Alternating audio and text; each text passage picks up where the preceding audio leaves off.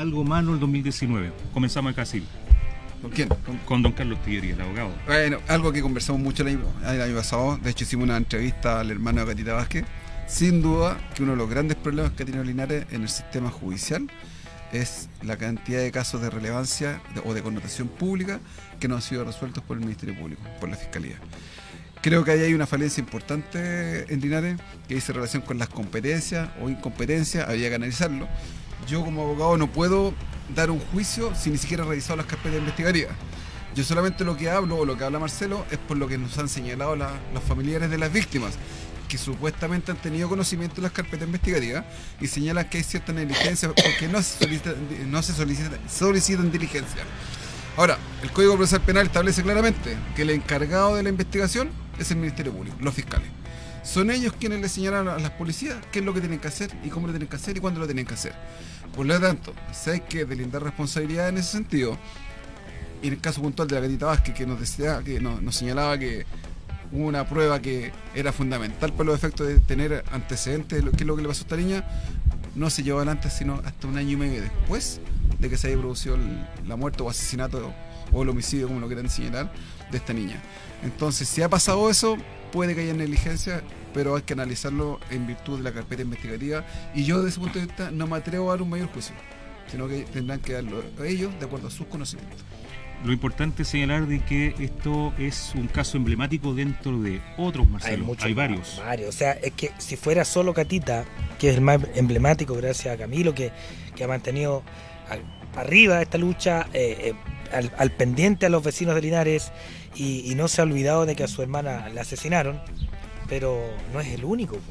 Tenemos el joven este que durante dos kilómetros lo arrastraron en un vehículo, donde 30 días después recién se ordenó la investigación a, la Policía de Investigaciones, anteriormente estuvo Carabinero, y nunca guardaron los registros de imagen de toda la cantidad de cámaras de seguridad que apuntan hacia la vía pública por donde el vehículo pasó. No pudo haber pasado, pasó. Eh, eh, el asesinato de un joven el, el, para el 18 de septiembre, allá en Guapibajo, Guapialto, perdón, o Guapibajo, que lo siguieron, eh, se ensañaron con él y lo dejaron apuñalado, desangrándose ahí en el lugar y murió en el lugar donde tampoco hay noticias. el, ya el también emblemático caso de la señora Adriana de Goya y tirada dentro de un canal, el, joven que falleció ahí en Presidente Ibáñez con, con Serrano, al cual por respeto a la familia, me pidieron que no mencionara las condiciones que fue muerto porque les duele escuchar cómo fue que lo mataron. Eh, pero, pero casos como eso, el que encontraron quemado y resulta que fue un accidente doméstico, pero él se quemó. O sea, ya, parece, de verdad, a mí ya ni siquiera me da pena, me da pena ponerme en, en el caso de esa familia. Yo creo que eso es lo peor lo peor porque siguió sumando casos. Por eso es malo por el 2000, porque no vienen del 2000, son del 2018 y 2017. Y viene de Marcia Camp. Claro. que fueron en el 2000 y algo. Entonces estamos hablando que hasta cuándo tenemos ese tipo de autoridades en Linares. Linares se movilizó un montón en la época de, cuando empezó este revuelo social, a contar del 19 de octubre. Pero me, dice, me gustaría ver a ese Linares que se movilizó en algún momento, 10.000 personas marcharon por Linares pero, pero, pero ¿por qué? Porque era, era más popular salir a marchar por, por lo que hoy día se está hablando, cambio a la constitución, bueno, y la justicia, el que, el que terminemos con este nivel de autoridades lineares que tenemos, porque esto no pasa en otros comunes, no pasa, pero en menor grado. Aquí ya parece burla, aquí ya se volvió un hábito. Si, si, si alguien tiene nexo con alguien del, del, ente investigador, el caso va a quedar en nada. Si alguien tiene nexo para yo investigar a mi favor, entonces sí van a haber eh, resultados en las investigaciones. Y eso no puede seguir pasando. Pero, Porque eso es lo peor que podemos tener el año 2019. Marcelo, a mí me gustaría preguntarle a Carlos Tillería por su experticia judicial, ¿no hay también falta de capacidad de parte de los abogados no saber solicitar las diligencias necesarias para, para poder ir generando verdad en los casos? Lo que pasa, Cristian, es que lo que tú me señalas procede cuando hay abogado, cuando las familias de las víctimas tienen abogado. Pero lo normal es que no ocurra eso, porque de hecho el caso de la familia de Gatita Vázquez es excepcional.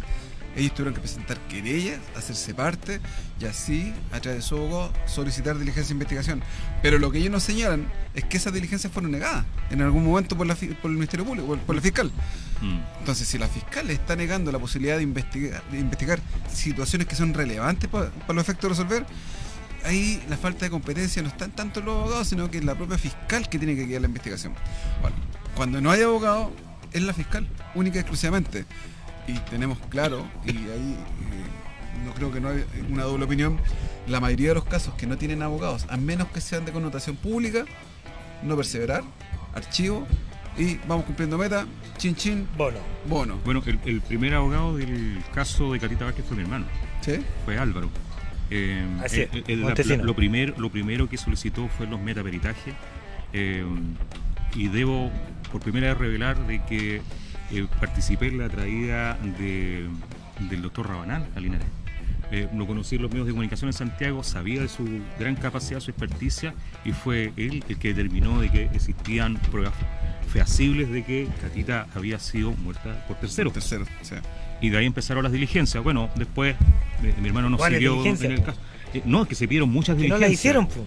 Porque, la- porque la fiscalía se negó a hacerlas. Por eso se negó por qué. Lo, lo que pasa es que ¿Por no reconocer que cometió cuando- errores cuando o porque estaba estaba La ley- eh, eh, encubriendo a alguien? No, y la ley establece. Creo que eso es legítimo Es pensarlo. que sí, bueno, eso ya es parte de la interpretación.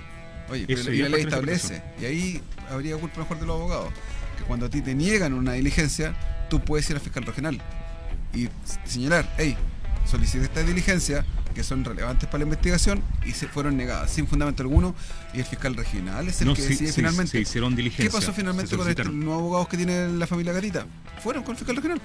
Cuando iban a, a no perseverar, y el fiscal regional dijo, ok, se reabre y traigan la- los teléfonos, los chips Mm. de los teléfonos para ver cuáles fueron Sí, las pero fue un chiste, le faltó puro llevar el, el teléfono de allá de Tocopilla que tenían.